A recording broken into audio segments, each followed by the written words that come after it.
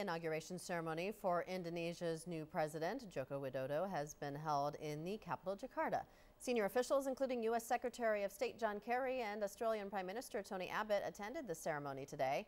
Chinese President Xi Jinping's special envoy, Yang Jiechi, also attended the inauguration ceremony. Joko Widodo, called Jokowi by his supporters, is a former furniture seller. He won 54% of the votes in July after a grassroots campaign that stressed his ordinariness, honesty, and record of hard work and transparent service as Jakarta governor. He is the seventh Indonesian president and the only one that hasn't been drawn from the country's political, economic, and military elite.